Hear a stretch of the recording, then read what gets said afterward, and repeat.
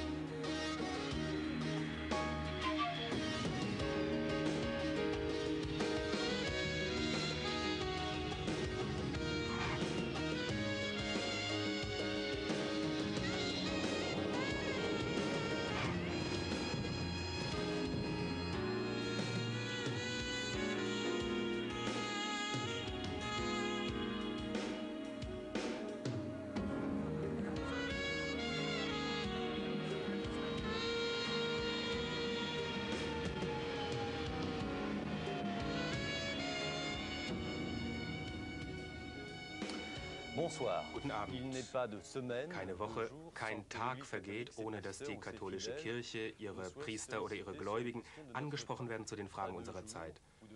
Kein Tag, keine Woche, ohne dass die Christen aus dem einen oder anderen Grund in den Schlagzeilen sind. In Frankreich ist es der Abbé Pierre, in Deutschland Eugen Drewermann, vor kurzem Johannes Paul II. und äh, der Verkaufserfolg der Veritatis Splendor. Vor kurzem die Aufnahme diplomatischer Beziehungen mit Israel. Bald wird es sicher einen Besuch des Papstes in Jerusalem geben. Die Kirche steht im Blickpunkt der Öffentlichkeit. Diejenigen, die schon etwas älter sind und sich vielleicht noch einmal erinnern, wissen, wie diese Namen den Weg der Kirche markiert haben, den Weg, den sie zurückgelegt hat, seit der Zeit, als die Politologen aus allen Ländern die Kirche noch eindeutig im Lager der Traditionalisten eingeordnet haben. Die Kirche wird heute immer wieder angesprochen zu den unglücklichen Positionen, die sie zu einigen Themen einnimmt, zum Zölibat, zur Abtreibung, zum AIDS unter anderem. Deswegen haben wir uns entschlossen, diese Sendung den Tabus der Kirche zu widmen. Nicht um zu schockieren, sondern um zu sehen, wo die Kirche heute nach diesem langen Weg sich befindet, wo ihre Tabus sich befinden und wo die Grenzen der Position der heutigen Kirche sind. Vier Männer, vier Kirchenmänner, vier Tabus. Der zweite Teil unserer Sendung wird einem Treffen gewidmet sein, hier bei Transit zwischen dem Bischof Jacques Gaillot und äh, der ja nun jemand ist, der in der allerersten Reihe der Kirche sitzt, auf der einen Seite, und äh, Eugen Drewermann, ein freier Schriftsteller, wie er sich heute nennt, der seinen Ämtern enthoben wurde durch den Bischof und seine Botschaft hat mittlerweile ja die Grenzen Deutschlands weit überschritten. Zuerst einmal aber zwei andere Gäste, zwei andere Tabus. Zuerst einmal das Zölibat. Als Einführung zur folgenden Reportage möchte ich Ihnen sagen, beim Konzil von 1139 wurde das Zölibat für die Priester beschlossen. Vorher waren die Priester verheiratet und die meisten von ihnen lebten in eheähnlichen Verhältnissen bis zum 16. Jahrhundert.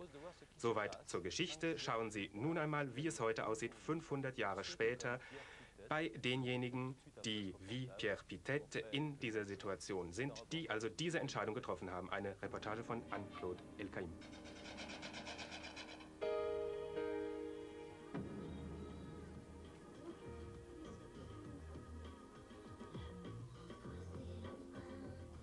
Pauline, Cécile, Gauthier, Elise. Geschwister wie viele andere. Sie spielen Tarot, hören Vanessa Paradis, lesen, gehen in die Schule, in die Universität oder ins Gymnasium.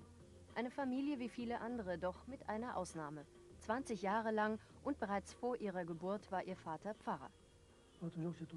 Man glaubt immer, dass so etwas nur den anderen passiert. Und dann geschah es plötzlich auch mir. Ich arbeitete mit Evelyn zusammen. Nun ja, ich verliebte mich. Irgendwann mussten wir eine Entscheidung treffen. Wie fühlt man sich als Priester, wenn man sich in eine Frau verliebt? Nun, man fühlt sich nicht wohl. Man denkt an seine Pflichten und an die Vorschriften der Kirche, also an das Zölibat. Man muss sich dafür oder dagegen entscheiden. Da kann man sich nicht wohlfühlen. Wie reagierte Ihre Familie? Ich habe über meine Beziehung mit Pierre niemals gesprochen. Meine Mutter ist ein Jahr vor unserer Entscheidung gestorben. Ich habe also niemals mit ihr darüber reden können. Und mit meinem Vater, als wir uns zur Heirat entschlossen, habe ich ihm geschrieben, weil ich nicht den Mut aufbrachte, direkt mit ihm zu sprechen. Wie reagierte die Kirche, als Sie darüber zum ersten Mal offen redeten? Wir hatten nicht das Recht, am Ort selbst zu heiraten. Wir mussten wegziehen, die Stadt, in der wir wohnten, verlassen. Sie wurden also praktisch exkommuniziert. Wir sind nicht im amtlichen Kirchenregister. Nein, für unsere Eintragung gab es ein Sonderblatt. Wir sind in einem Geheimdokument des Bistums aufgeführt. Sie gehören also zu den Ausgestoßenen? Ja. Mit diesem Statut fanden sich Pierre und Evelyn nur schwer ab. Sie erzählten ihren Kindern erst ihre Vorgeschichte, als die Ältesten etwa zehn Jahre alt waren. Unsere Eltern brachten uns bei, dass es ein Geheimnis zwischen uns sechs bleiben muss. Niemand sonst durfte davon erfahren. Ich habe immer alles versucht, um das Geheimnis nicht preiszugeben.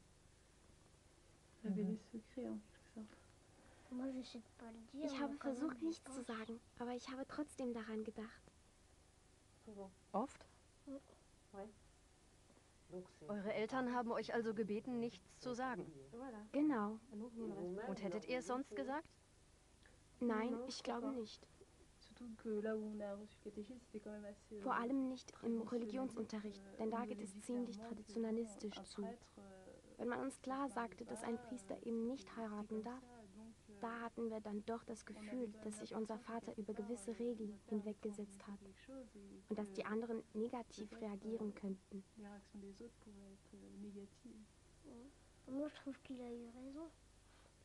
Ich finde, er hatte recht, weil man auch als Pfarrer heiraten kann. Mit Kindern ist das Leben viel schöner.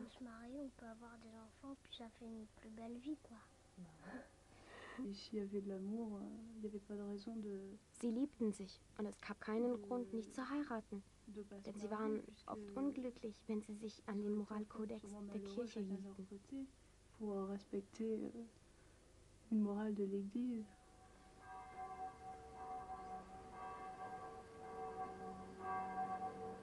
In der Familie Pierres waren die Moralvorstellungen der Kirche fest verankert. Auch sein Bruder Michel wurde Priester. Er ist es heute noch und er erinnert sich noch an seine Reaktion, als ihm Bruder und Pfarrer Pierre seine Entscheidung mitteilte.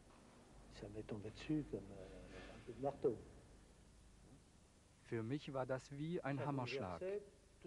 Das erschütterte unstre, ich will nicht sagen Gewissheiten, aber immerhin unsere Denkweise.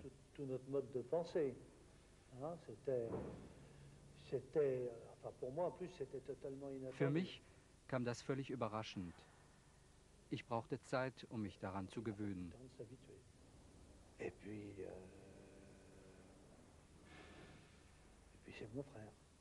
Und dann ist es ja mein Bruder, also respektierte ich natürlich seinen Entschluss, wie die ganze Familie übrigens.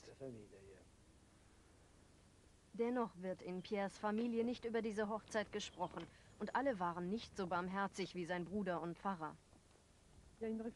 Eine Bemerkung hat mir sehr wehgetan. Ich weiß nicht, ob ich darüber reden kann. Nun, es handelt sich eigentlich nicht um eine Bemerkung, sondern um einen Brief seines Bruders, den er mir bei der Hochzeit zeigte. Ich kann mich nicht mehr genau an den Wortlaut erinnern, aber es lief darauf hinaus, dass ich so etwas wie eine Hure sei, weil ich ihn von seinem Weg abgebracht hatte. Ich könnte eben keine gute Frau sein. Das hat mir sehr wehgetan.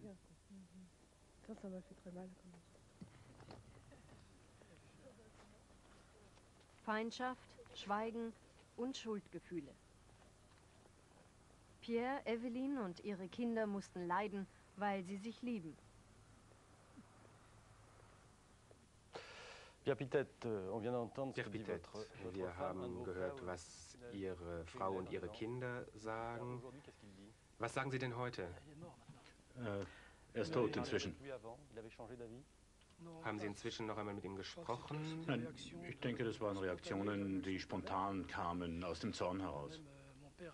Mein Vater hatte auch Reaktionen, ziemlich harter Natur uns gegenüber. Er ging sogar so weit, mir zu sagen, dass er vier Kinder hatte und jetzt nur noch drei hat.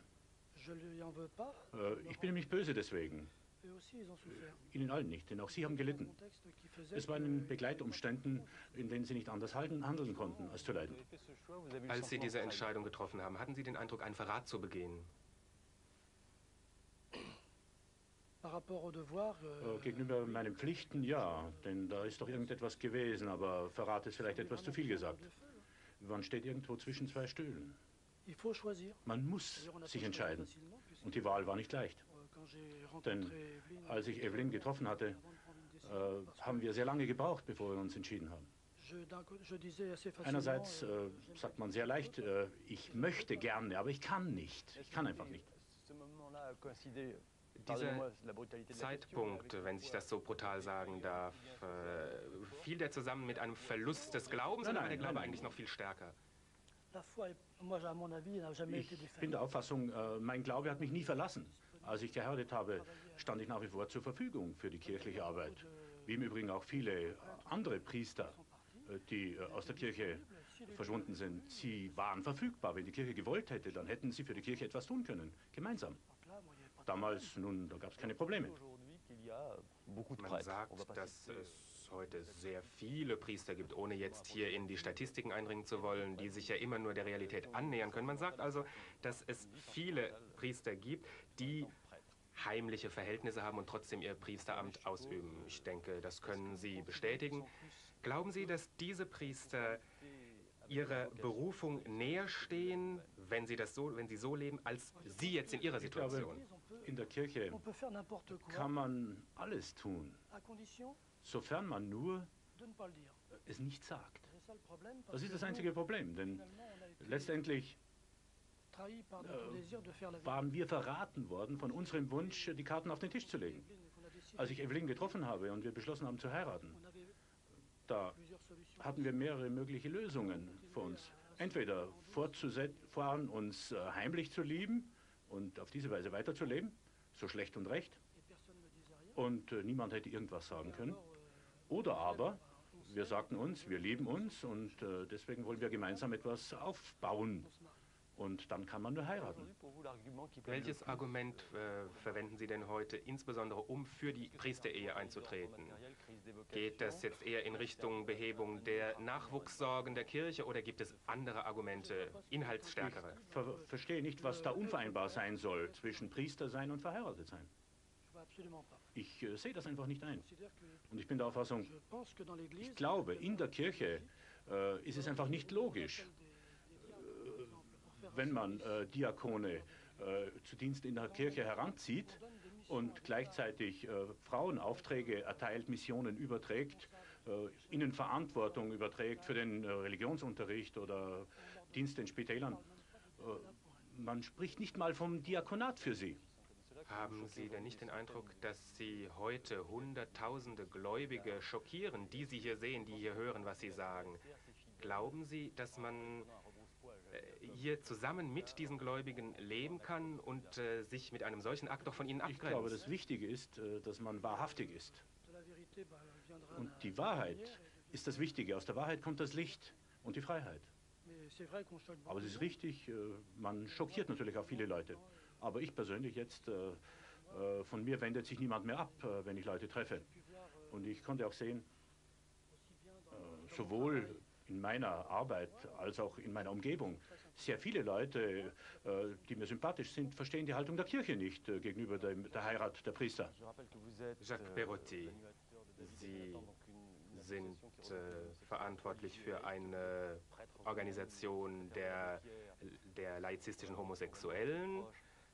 Sie haben mit dem Abbé Pierre zusammengearbeitet, Sie sind ein engster Mitarbeiter, Sie bekennen sich zu Ihrer Homosexualität. Sie haben einmal erzählt, dass eine Nonne, eine Schwester, Ihnen eine Liebeserklärung gemacht hat, die Sie abgelehnt haben. Sie sprechen davon, als wäre das etwas ganz Natürliches, aber die Kirche deckt das doch mit dem Mantel des Schweigens zu. Warum spricht denn die Kirche über diese Themen nicht? Nun, vor allem seit St. Augustin kann man sagen, dass die pessimistische Haltung der Kirche gegenüber allem, was mit äh, Gefühlen und, und, und mit Sex zu tun hatte, Schuldgefühle erweckte. Deswegen, nun, die Priester konnten bis ins 11. Jahrhundert verheiratet sein, aber aufgrund des Drucks des Puritanismus wurde dann, kam es zu einer Trennung zwischen dem geistigen und dem körperlichen und, und Gefühlsleben. Der Priester wurde zu einem Wesen, das nur mit dem Heiligen zu tun hat und das selbst kein körperliches Leben mehr und Gefühlsleben mehr haben darf. Seine Menschlichkeit wurde niedergedrückt. Und das ist bedauerlich, denn ich kenne zahlreiche Priester, die verheiratet sind, die, die, die zu dieser Vereinigung von Clairvoix gehören. Und äh, nun, es sind hunderte von Priestern und sie setzen sich dafür ein, sie kämpfen dafür, als Mensch in der Kirche ein Amt auszufüllen. Man fühlt sich besser in, dieser, in seiner Rolle, in seinem Herzen, in seinem Leben, dann kann man auch besser für Jesus eintreten. Ja, Sie sprechen von Sexualität, damit kommen wir zur Homosexualität, dem zweiten Tabu, die Homosexualität der Priester. Das scheint das Tabu schlechthin zu sein. Wir haben lange gezögert, dieses Thema anzusprechen, weil wir wussten, dass das die Gläubigen schockieren würde. Wir haben trotzdem gesagt, wir möchten das zeigen, denn soweit wir wissen, wurden diese Fakten noch nie in der Öffentlichkeit gesagt. Ein Zeugnis über die Kirche in unserer Zeit, eine Reportage von John Paul Lopez und Frédéric Massot.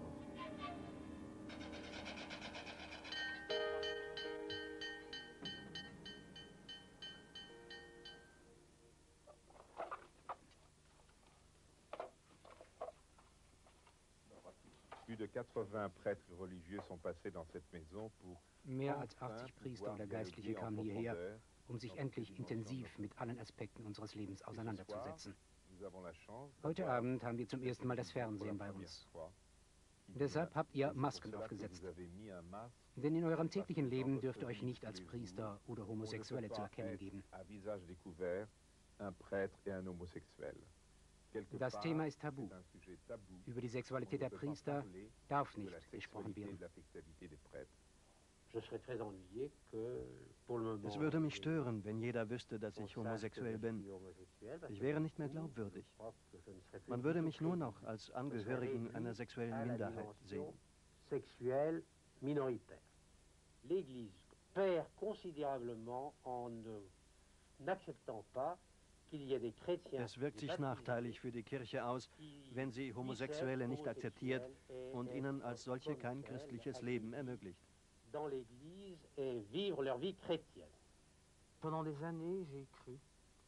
Jahrelang habe ich geglaubt, dass man Liebe schenken muss und dass man über seine Erfahrungen reden sollte. Davon war ich überzeugt, als ich eine sieben Jahre dauernde homosexuelle Beziehung zu einem verheirateten Familienvater hatte. Heute weiß ich, Liebe heißt sich lieben lassen, sich hinzugeben und verzeihen zu können. Ich habe das körperlich und gefühlsmäßig erlebt. Das ist für mich nichts Abstraktes. Es ist wirklich ein Dialog zwischen Herz und Körper. Ich glaube, das macht sich bei der Ausübung meines geistlichen Amtes bemerkbar. Die Leute spüren die Intensität, denn ich ging durchs Fegefeuer des Leidens und der geteilten Freude.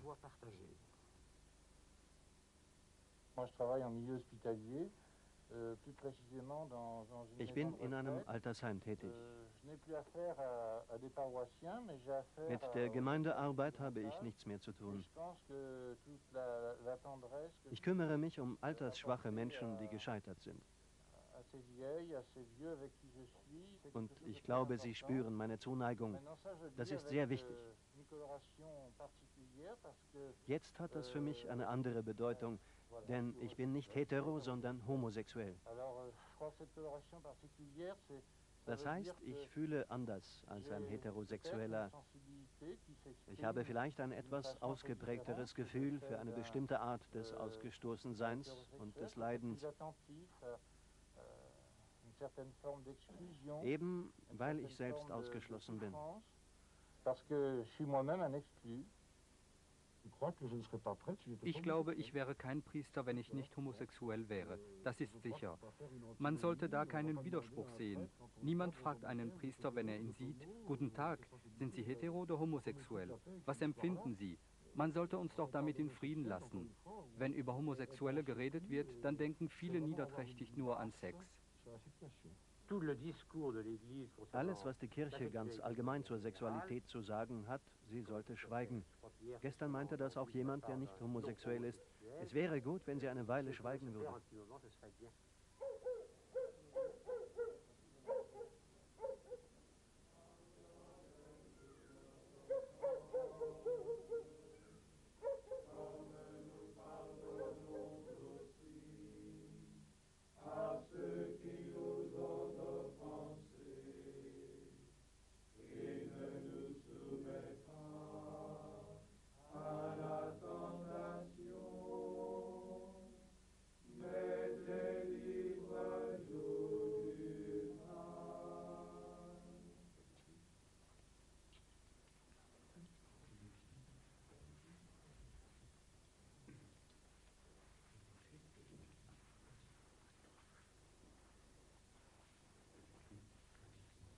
Pense que la proportion d'homosexualité parmi les prêtres est plus grande ich glaube, dass der Anteil der Homosexuellen unter Priestern größer ist als in der Gesamtbevölkerung.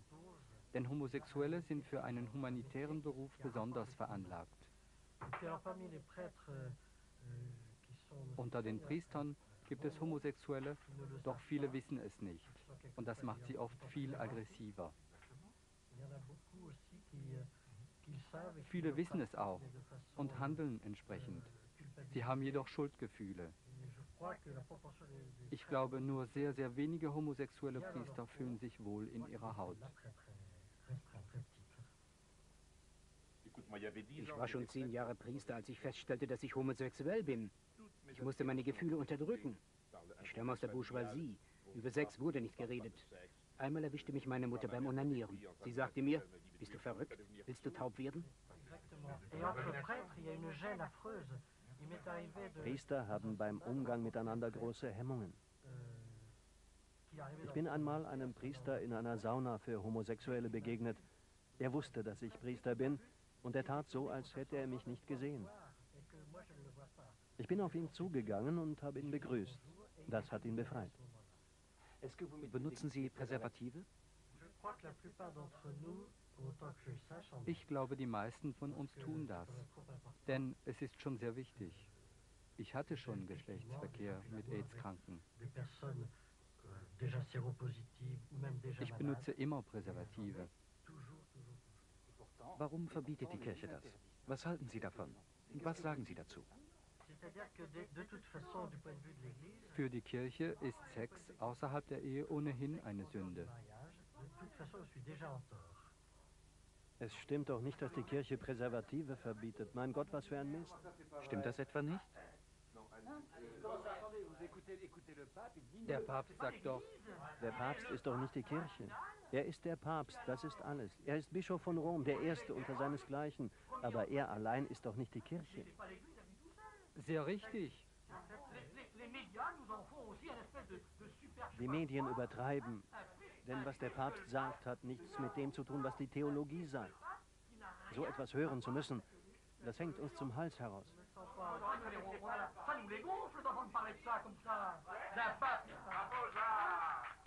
Welche Moralvorstellungen vermitteln Sie den Gläubigen, die zu Ihnen kommen?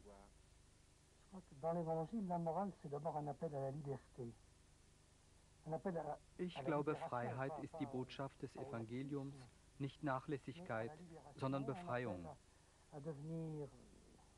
Wir sollen das Menschliche in uns verwirklichen. Gott ist doch kein Polizist mit einer Trillerpfeife im Mund und einem Knüppel in der Hand.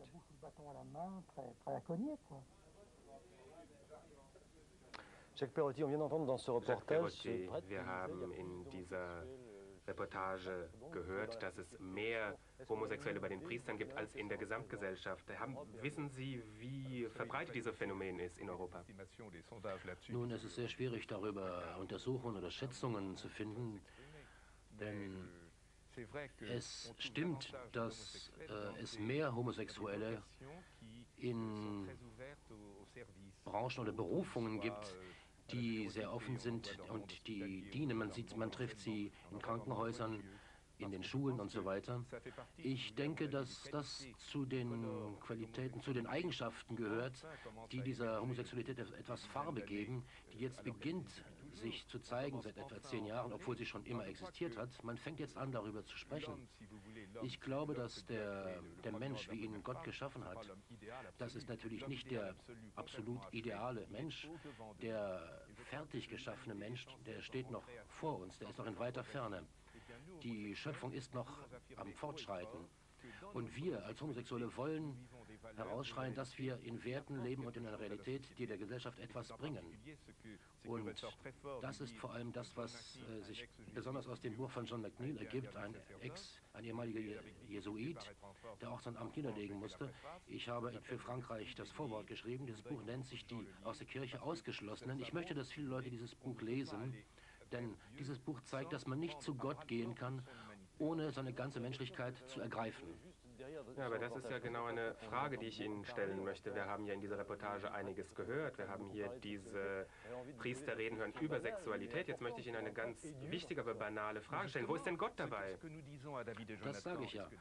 Was wir bei David und Jonathan sagen und was äh, in diesem Buch auch steht, man kann nicht zu Gott gehen, trotz seiner Menschlichkeiten, trotz sein, seines Körpers, seiner Sexualität, seines, seiner Erotik. Man geht zu Gott mit allem, was man einbringt, was man hat. Und inmitten dieser Menschlichkeit kommt man zu Gott. Die Menschlichkeit hat meine Menschlichkeit verdrängt, niedergetreten. Und deswegen bin ich, bin ich böse auf die Kirche. Für mich ist die Verdrängung der Homosexualität eine Art Völkermord, ein Art moralischer Völkermord. Denn man sagt, das ist eine Tendenz, du darfst es aber nicht ausleben. Ja, wieso sind Sie dann immer noch Mitglied der Kirche? Ich bleibe in der Kirche, weil ich die Kirche liebe weil ich glaube, dass äh, ich herausschreien muss für meine homosexuellen Brüder und Schwestern, verlasse die Kirche nicht, du hast einen Platz in der Kirche. David und Jonathan ist für mich eine, eine Basisgemeinschaft, die den Christen hilft, sich aufzustellen und zu Gott zu gehen, nicht neben ihrer Homosexualität, sondern darin. Haben Sie nicht den Eindruck, dass Sie sich da komplett absondern vom Volk der Gläubigen, wenn Sie das alles so grundsätzlich anders sehen. Das ist doch ein doppelter Bruch der Regeln. Nicht nur die Sexualität, sondern eben auch äh, die Regeln der Sexualität, nämlich die durch Praktizieren der Homosexualität. Ganz und gar. Das stimmt. Wenn man feststellt, dass man homosexuell ist, dann ist das etwas Furchtbares. Ich habe vor kurzem den Tod, vom Tod eines Mannes von 35 Jahren erfahren. Ein Mensch, der voll im Beruf stand, er hat sich das Leben genommen, weil er keine Möglichkeit mehr sah, seine Menschlichkeit und sein Leben und seine Liebe auszuleben. Er hat, sich, er hat dann beschlossen, sich zu töten. In der anderen Welt wird er dann die Liebe erleben. Der Pitet, Ihr Kampf für das Recht auf Ehe für die Priester, geht ja nicht in die gleiche Richtung wie der von Herrn Perotti. Ist das der gleiche Kampf? Sind Sie solidarisch? Ja, ich fühle mich solidarisch mit äh, dem, was Jacques durchlebt und alle die anderen auch. Obwohl es dann natürlich ein äh, sehr hartes Zeugnis ist, äh, wenn wir das gemeinsam sehen. Und ich habe etwas Schwierigkeiten, das zu verstehen, denn ich bin nicht mittendrin, bin ich betroffen. Aber was mir wichtig erscheint, ist, äh, die Kirche äh, erfüllt ihre Mission nicht, so scheint es mir. Denn anstatt alle diese Ausgegrenzten aufzunehmen, äh, verweigert sie sich ihnen. Ich wurde marginalisiert, an den Rand gedrängt, gedrängt in der Kirche. Ich wurde äh, als unter dem Leidenstand angesiedelt. Aber ich bin immer noch in der Kirche, aber ich bin marginal, ich bin am Rand. Wir werden darauf noch einmal zurückkommen, denn Sie lehnen ja diese Gesetze ab. Sie möchten diese Gesetze Ich kann ändern. diese Gesetze nicht akzeptieren. Ich liebe meine Frau, ich kann nicht anders. Was soll ich denn da tun? Wir haben dieses Tabu der Sexualität auch mit Michel Pollack angesprochen, unser Chronist hier bei Transit. Hören Sie selbst seine Antwort. Er hat nämlich hier eigene Position zu dieser Debatte. Je suis trop voltairien pour comprendre quelque chose à ces milliers de sectes qui se partagent des milliards de croyants sur la Terre. Je ne comprends rien à leurs interdits, leurs règles, leurs tabous. Pourquoi le porc serait-il impur? Pourquoi la femme serait-elle impure? Pourquoi faudrait-il martyriser les sexes par des excisions ou des circoncisions? Pourquoi la sodomie vous enverrait-elle en enfer et le préservatif serait-il diabolique? Et à côté de ça, les croisades seraient saintes et euh, euh, envoyer quelques impies euh, en, en enfer vous ouvrirez les portes du paradis. Heureusement qu'il n'y a plus de sacrifices humains. Du moins, je l'espère. Et les religions, pour moi, lorsqu'elles se préoccupent des choses matérielles, l'habillement, euh, le sexe, la nourriture, les mœurs, euh, me paraissent vulgaires. Moi, euh, j'ai de l'admiration pour les mystiques qui, justement, rejettent les apparences matérielles futiles pour se consacrer à l'ultime réalité. Et puis, il y a dans les religions une vieille expérience millénaire dont on peut reprendre euh, certaines règles. Par exemple, faire retraite, partir dans la montagne, solitaire, euh, dans le silence, le recueillement, la contemplation, la méditation, accepter même euh, pour soi le jeûne, l'ascèse et même la chasteté. Mais cela apprend à contrôler ses désirs, cela apprend à mieux se connaître, à être maître de soi et donc à être plus serein et plus libre. Mais alors par contre, euh, la chasteté comme euh, effroi devant le sexe et devant la femme, la chasteté qui est une règle dans une société comme celle euh, des prêtres et, qu'ils subissent, alors là ça donne des explosions épouvantables et il y a tout le temps des scandales. Il y aurait, je sais pas, 11 ou 17 000 prêtres américains impliqués dans des affaires de pédophilie. Et en France, il vient d'avoir encore une affaire dans un collège et la, la hiérarchie essaye d'étouffer l'affaire exactement comme la hiérarchie policière veut étouffer les bavures par esprit de corps. Alors certains disent que la solution, eh bien, euh, c'est les prêtres mariés, les prêtres homosexuels. Ça me paraît un petit peu euh, confus tout ça, c'est le mélange des genres. C'est comme si euh, quelqu'un voulait être Don Juan et le pape, être la Dame aux camélias et Sainte Thérèse d'Avila, être Saint François d'Assise et aller tuer le taureau dans l'arène le dimanche. Il y a quelque chose là qui ne va pas. Voilà, vous voulez être Don Juan et le Pape en même ja. temps. La, Man möchte Don Juan und der Papst gleichzeitig sein, so die Kritik von Michel Pollack. Was halten Sie davon? Ich will weder Don Juan noch der Papst sein. Da mich Gott so geschaffen hat, möchte ich bis zum Ende Jacques Perotti sein. Das ist das, was Gott von mir erwartet. Meine Forderungen gegenüber äh, dem sexuellen Leben nun, wenn ich 40 Jahre jünger wäre, glauben Sie mir, dann würde ich versuchen, ein Gefühlsleben und ein sexuelles Leben aufzubauen, das mit meinem Priesteramt vereinbar ist. Gott erwartet mich, Gott wartet auf mich. Ich bin mit dem, was Herr Pollack eben gesagt hat, nicht einverstanden. Ja, wenn Sie 40 Jahre jünger wären, würden Sie dann sich wieder für das Priesteramt entscheiden? Ja, warum nicht? Ich weiß ja, worum es geht. Ich kenne Priester, die fantastisch sind. Sie haben einen Freund in ihrem Leben und machen eine wunderbare Arbeit. Und sie sind wirkliche Anhänger von Jesus Christus. Ich habe es ja bereits gesagt, Sie sind sicherlich der Mann, der dem Abbé Pierre am nächsten steht.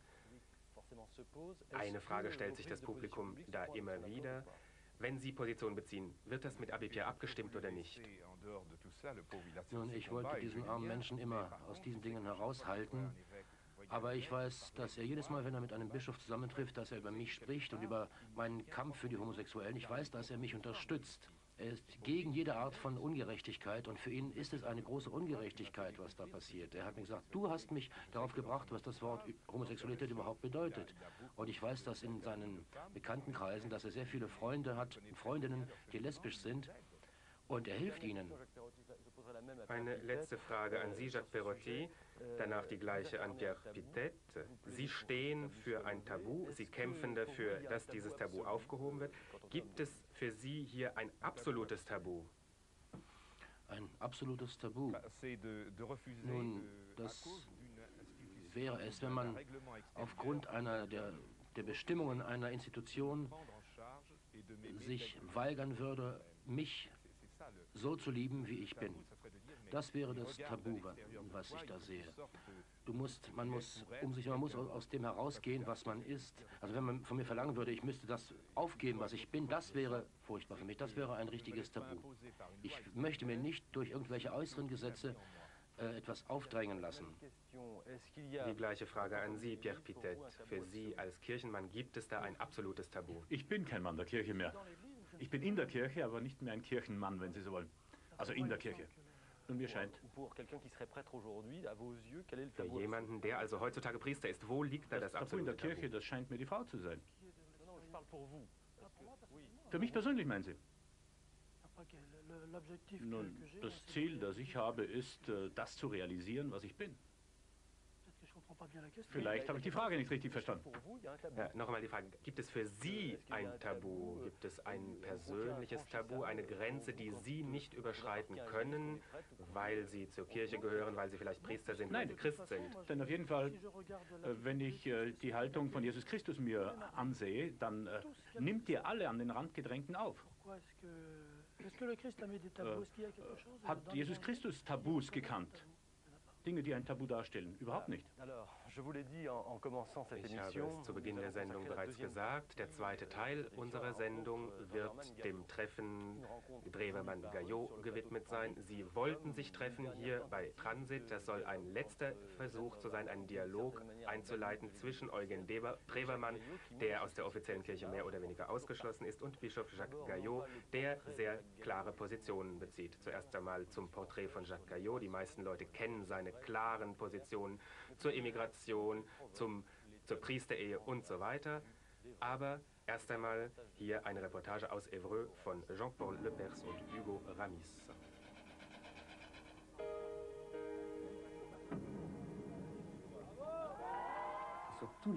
Bei allen Themen sind Bischof Gayot und die Kommunistische Partei einer Meinung. Seine Ansichten sind auch die der Kommunistischen Partei. Er ist vor allem Politiker. Bei seiner Ankunft in Evreux wandte er sich gegen die Konfessionsschulen.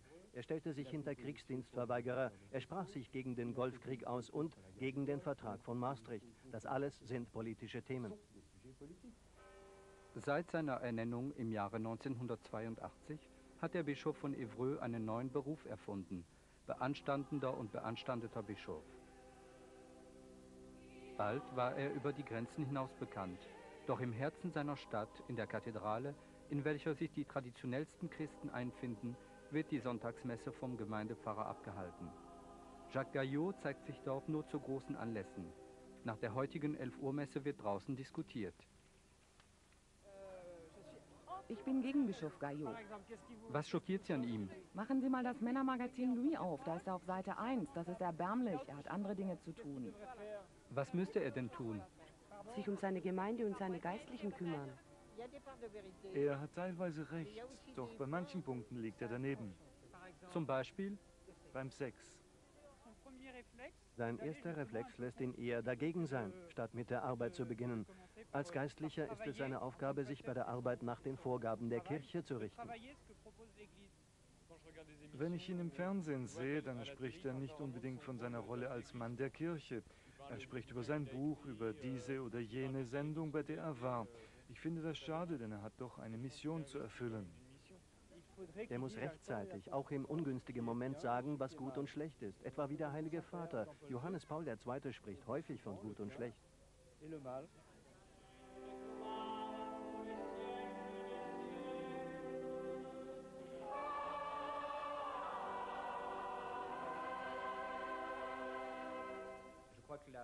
Ich glaube, dass sich die Leute von den Ansichten Jacques Gaillots angesprochen fühlen. Es handelt sich um nicht leicht zu lösende Probleme.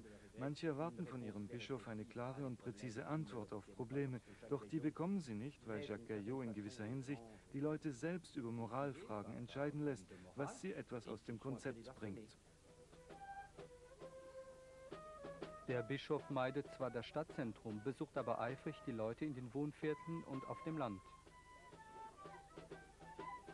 Nach einem Picknick weiht er an diesem Sonntag den neuen Kirchengemeindesaal von Bacqueville bei Rouen ein.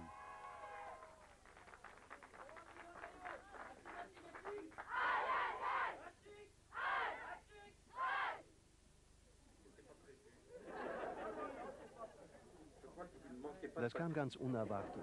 Ich glaube, Sie sind gut in Form und ich glaube, dass die Jungen der Kirche ihre Lebensfreude schenken können. Das brauchen wir nämlich wirklich damit die Gottesdienste keine Langeweile hervorrufen, sondern damit es im Gegenteil eine Freude ist, sich wiederzusehen und zusammen zu sein. Hilft er Ihnen beim Glauben an Gott oder beim Glauben im täglichen Leben? Er erlaubt uns vielleicht zu einer religiösen Ausübung zurückzufinden, die doch sehr verschlossen war. Das habe ich jedenfalls für mich gedacht, von dem Augenblick an, von dem man mit ihm wirklich frei über seine Gefühle sprechen kann. Zum Beispiel? Zum Beispiel über das, wovon wir heute Morgen sprachen, dem Zölibat der Geistlichen, die Priesterweihe für Frauen, dem Platz der Frauen innerhalb der Kirche. Er gestattet uns, alles zu sagen, worüber wir sprechen wollen. Und das ist schließlich sehr wichtig, auch wenn er nicht einverstanden ist. Man kann es sagen und er hört zu. Solches auszudrücken und darüber sprechen zu können, das tut uns gut.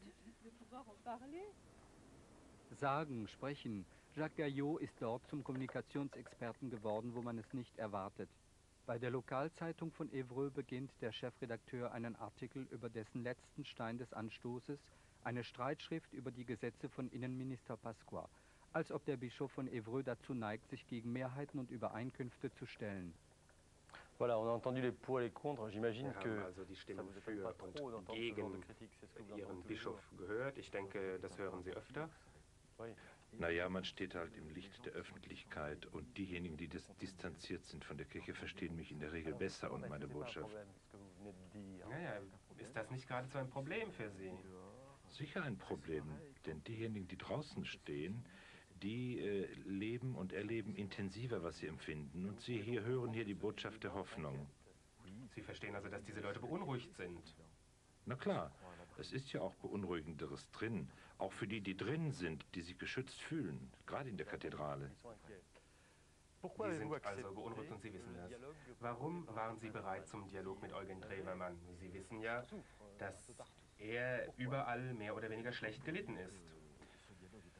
Zunächst habe ich das Bedürfnis zu sagen, wie notwendig dieser Dialog ist und äh, umso besser, wenn er hier in Straßburg stattfindet. Die Tür steht ja auf, man redet ja weiterhin mit ihm. Er hat ja Dinge zu sagen. Das weiß man ja. Ich weiß sehr zu schätzen, dass er auch ein sehr starker Kommunikator ist, gerade auch im Hinblick auf das Evangelium. Er befreit das Wort für diejenigen, die enttäuscht sind von der Kirche und die dadurch entdecken, dass das, was sie erleben, wichtig ist und die Botschaft Jesu bei ihnen ankommt. Anstatt nun, wenn ich das so sagen darf, irgendwo in einer gewissen katholischen Presse ihn äh, an den Pranger zu stellen, da denke ich insbesondere an einen Artikel in La Croix, so geht das nicht.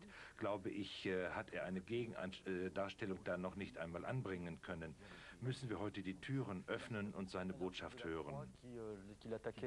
Ein Artikel, der ihn angegriffen hat der ihn äh, umgebracht hat, diskreditiert hat. Und da kann man sich schon die Frage stellen, wie es denn ist mit der Freiheit in der Kirche über Drewermann zu sprechen und mit ihm zu sprechen. Darf so etwas in einem katholischen Blatt stehen? Dürfen katholische Verlage seine Werke veröffentlichen? Wir kommen auf die Details noch einmal zurück, aber bevor wir in diesen Dialog einsteigen möchten, bevor wir alle Einzelinformationen liefern, damit wir das auch verstehen können, möchte ich Ihnen erst einmal vorschlagen, das kennenzulernen, was das Tabu Drewermann eigentlich ausmacht. Eine neue Lektüre der heiligen Texte im Lichte der Psychoanalyse, im Lichte des Werkes von Jung, ökologische Sorgen, man sagt manchmal äh, in Karikaturen, Drewermann sei Brigitte Bardot näher, weil sie sich für die Tiere einsetzt, als er dem Papst ist. Eine Reportage von Jean-Paul Lepers und Hugo Ramis, die nach Paderborn gegangen sind. Sie haben die Stadt, ihre Bewohner befragt zum Effekt Drewermann. Schauen Sie selbst, wir diskutieren danach weiter.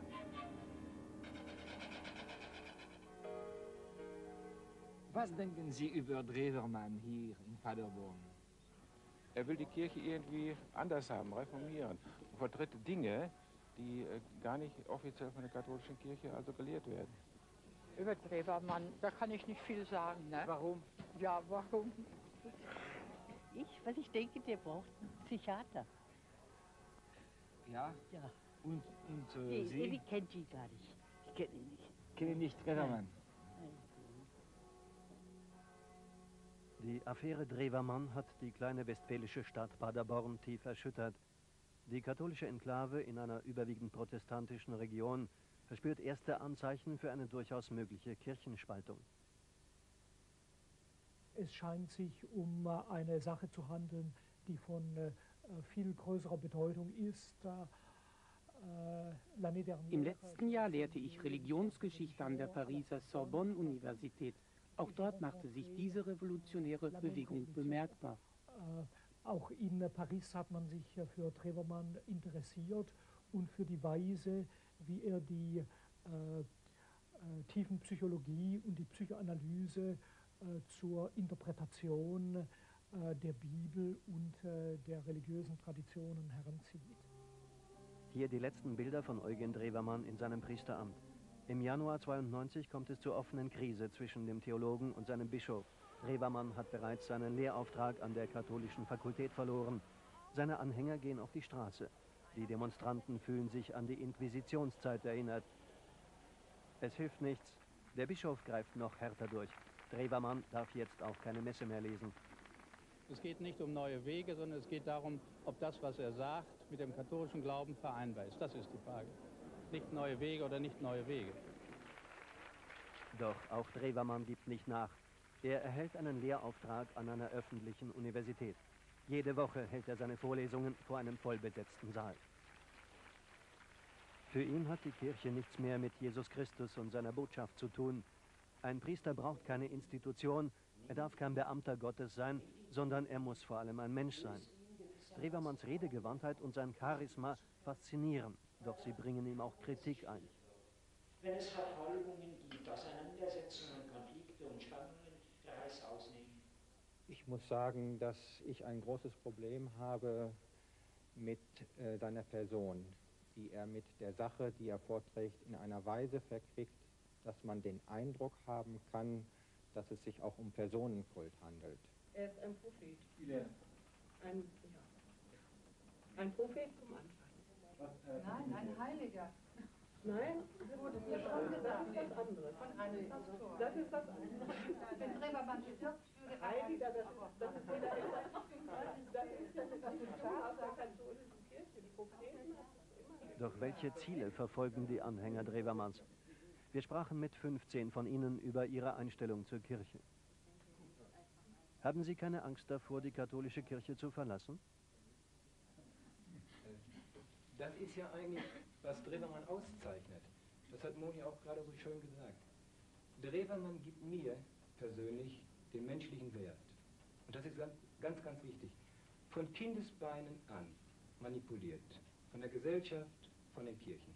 Für mich ist diese Institution auch heute gerade wieder, ich kenne das aus meinen Kindertagen, sehr einengend äh, und äh, Menschen äh, zerstörend teilweise.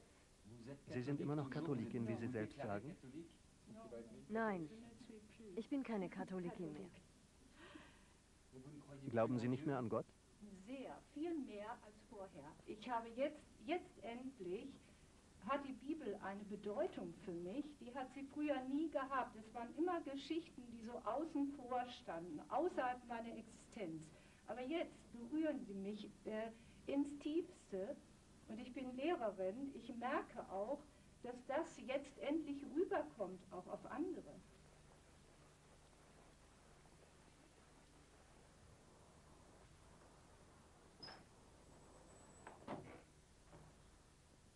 Hier in Paderborn haben wir eine gute Teilnahme an äh, Gottesdiensten, aber in den letzten Jahren ist die Zahl der Gläubigen, die den Gottesdienst regelmäßig besuchen, zurückgegangen.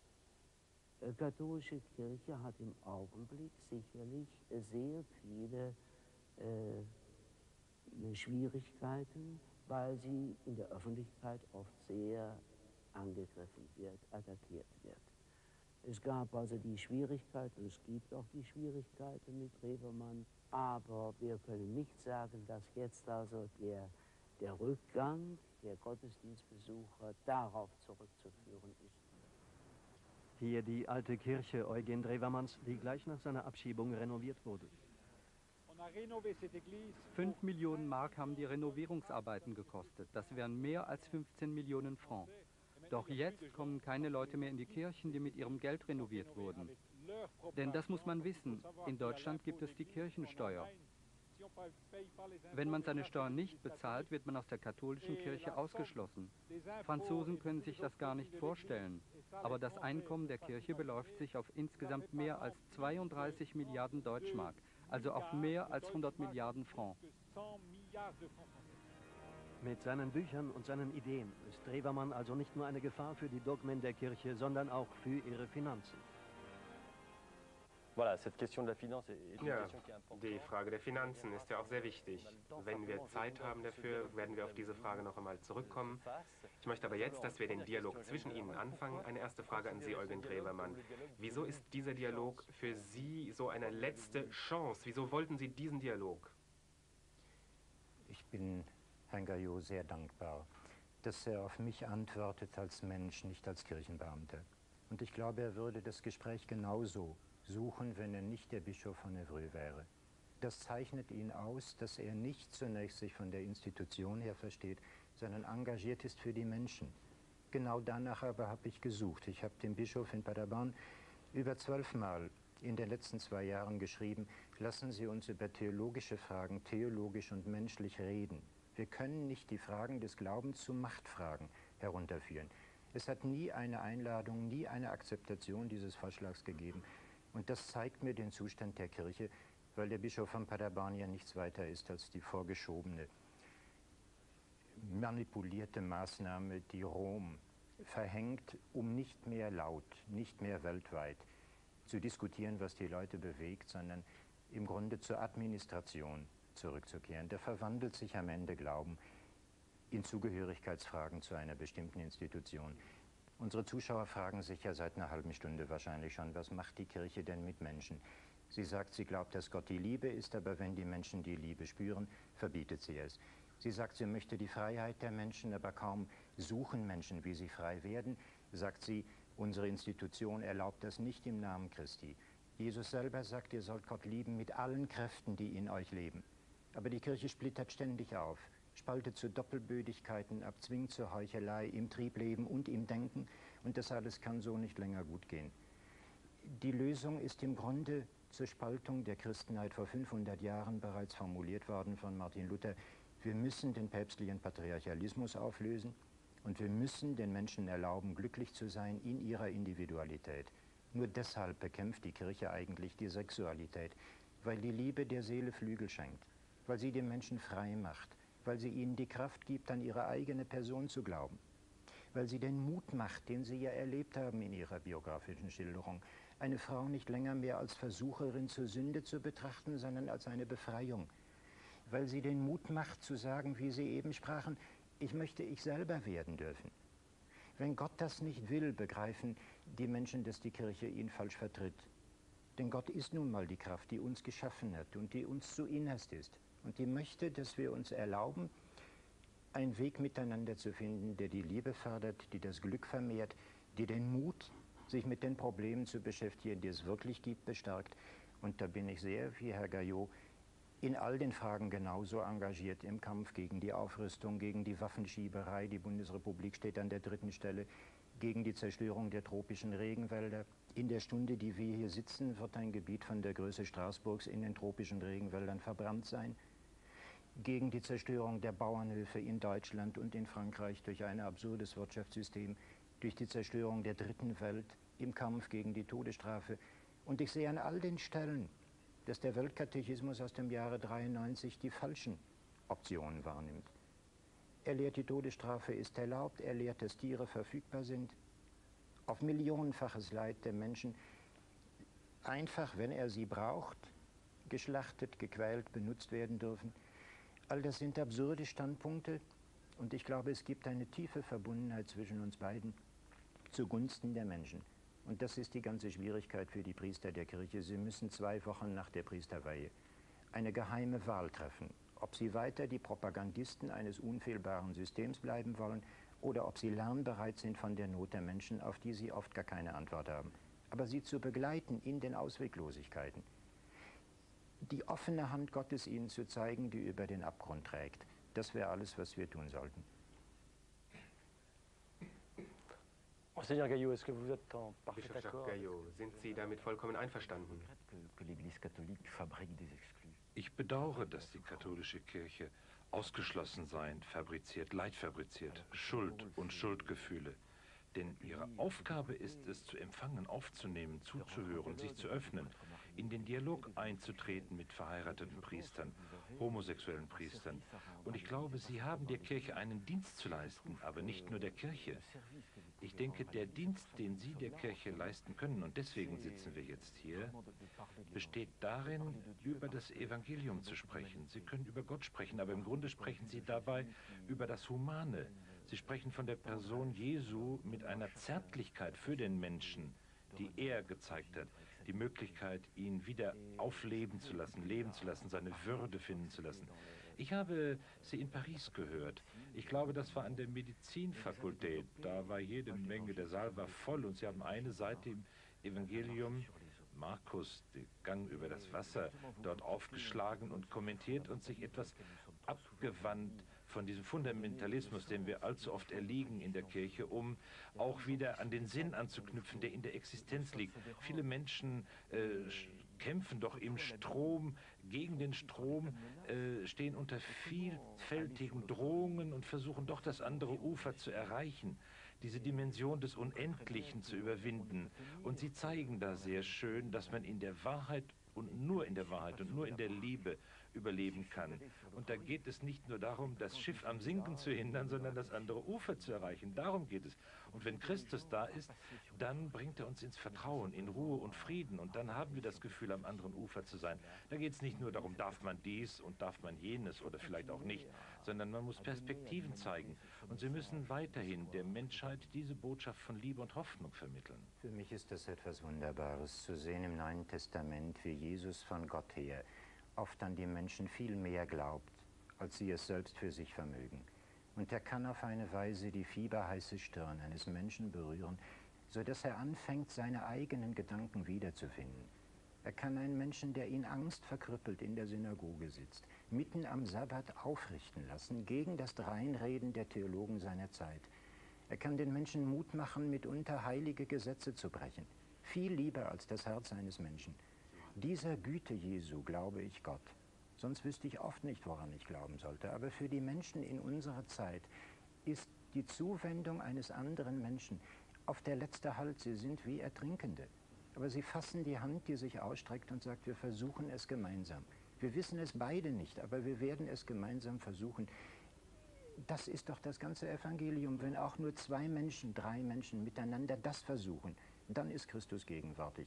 Aber die Kirche darf nicht ständig eine Institution mit einem unfehlbaren Lehranspruch und dann im Grunde ja mit fundamentalistischen, fast abergläubischen Kommentaren zur Bibel den Menschen zumuten. Das geht nicht länger gut. Und die Leute begreifen auch, dass die Zerstörung der Freiheit des Denkens und die Zerstörung der Freiheit des Gefühls, dass Aberglaube und Triebrepression eine Einheit bilden zum kirchlichen Machtgewinn. Das ganze System muss sich da ändern.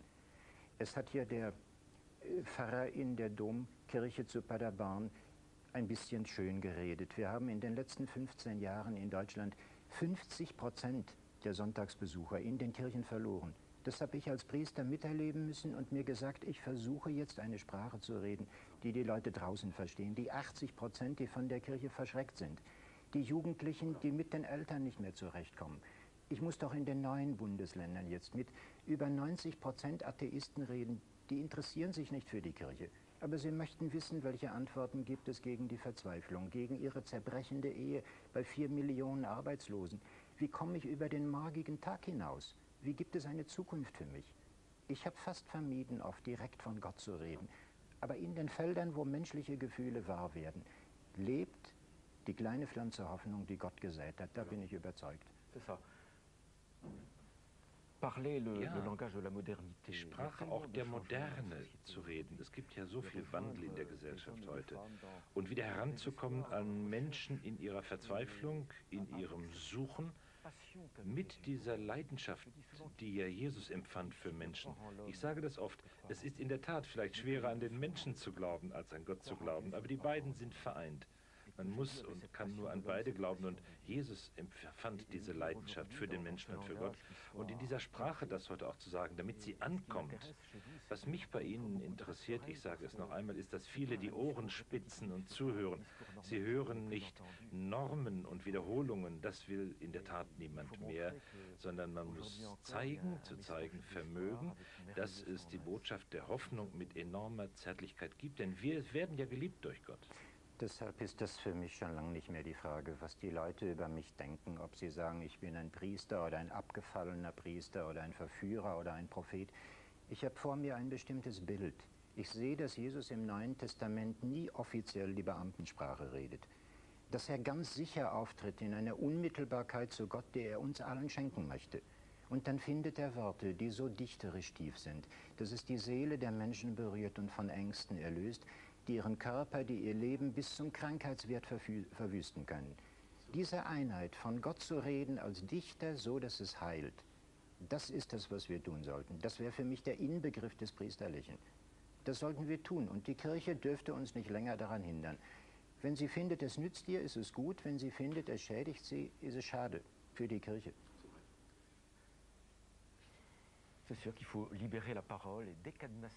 Klar, das Wort muss wieder zur Freiheit finden. Es ist oftmals das Wort und die Botschaft eigentlich beerdigt und man erkennt die Möglichkeiten nicht mehr, die im Wort Gottes liegen. Ja.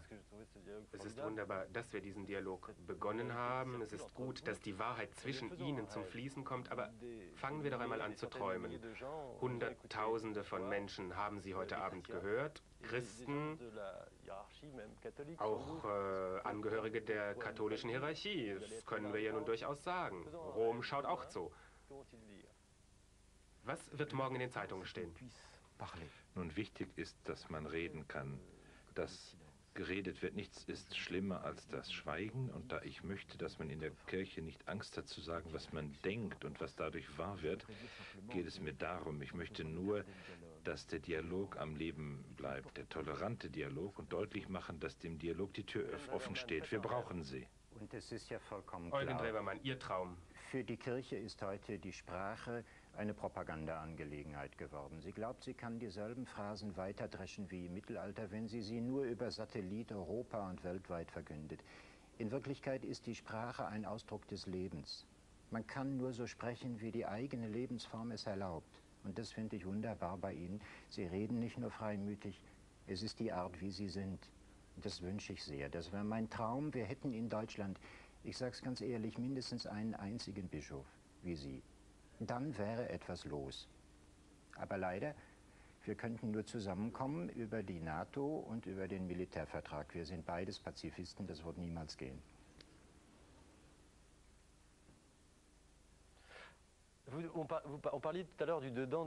Wir haben ja gerade von denen gesprochen, die drinnen sind, von denen, die außerhalb stehen. Jetzt am Ende dieser Sendung habe ich bei Ihnen, wie bei Eugen Drewemann, den Eindruck, dass Sie sich vielleicht eher mit denjenigen identifizieren, die außen stehen, als mit denen, die drinnen sind.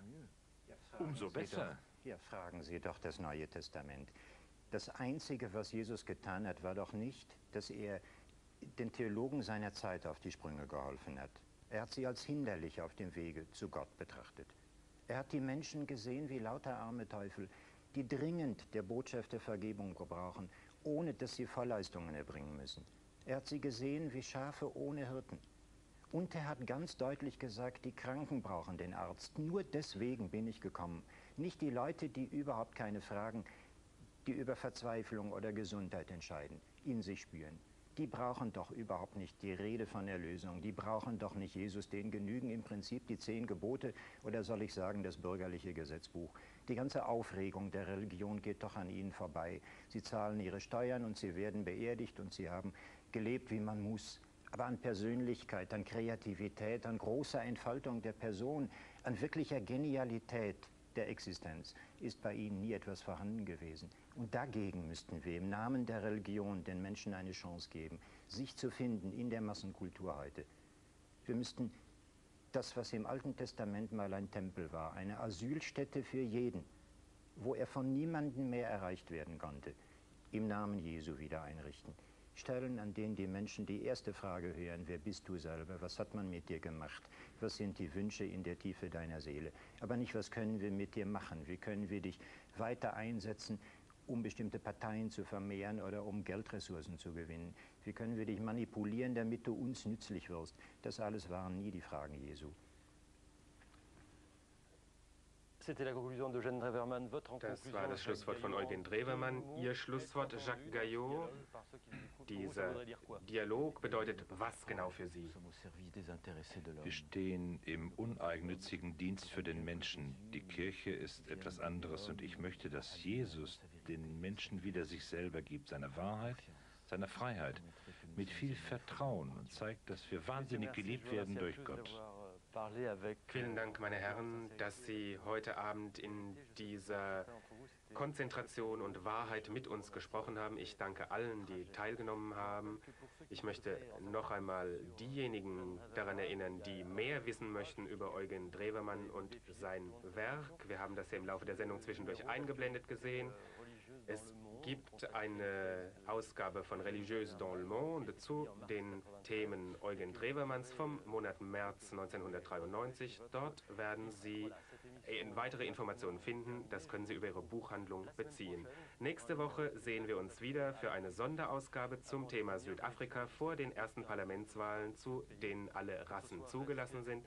Bleiben Sie heute Abend bei Achte mit unserer Sendung zum Thema Indien mit einem großen Film Gandhi von Richard Attenborough. Guten Abend.